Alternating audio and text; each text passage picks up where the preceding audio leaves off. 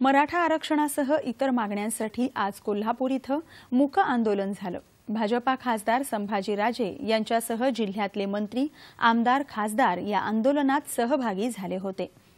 यावेळी विविध नेत्यांनी समाजाच्या मागण्यांबाबत आपली भूमिका मांडली आणि पुढच्या काळात होणाऱ्या आंदोलनाच्या प्रत्येक टप्प्यावर आपला सहभाग राहील अशी ग्वाही त्यांनी दिली.